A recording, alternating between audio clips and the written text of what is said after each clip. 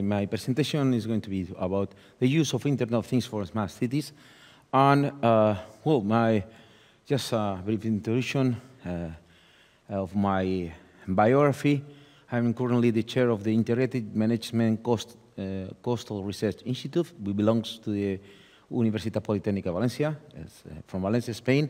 Uh, well, also I'm also the head of the, an innovation group called EITACURTE, and also I have been involved in several IEEE uh, activities like uh, Internet Technical Committee chair, and also the chair of uh, IEEE 19, 1907.1 uh, standard. Well, I'm currently involved in some publication activities like co-editor-in-chief for ad hoc sensor wireless networks and also a visual board of International Journal of Distributed Sensor Networks and associate editor-in-chief of sensors in the sensor network section. section. Well, uh, also another journals like network protocols and algorithms and multimedia communications.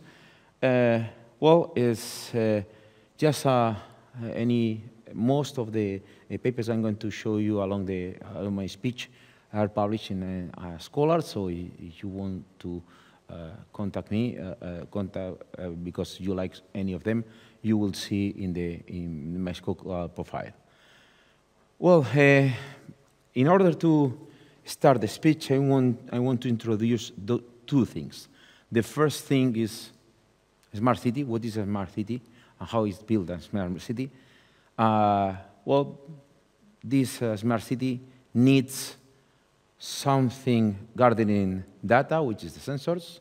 It also needs some data transmission, uh, that is communication protocols, and also algorithms, uh, communication algorithms.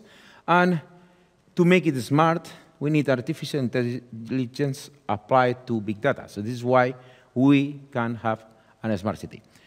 Uh, from the point of view of, uh, of the, in a big picture, we can see many sensors collected in buildings, in the streets, that will transfer this data through the wired or even uh, ce uh, cellular network, uh, and finally will this data will arrive to a database where some algorithms, some uh, artificial intelligence methods are applied to have some knowledge uh, or to take some decisions.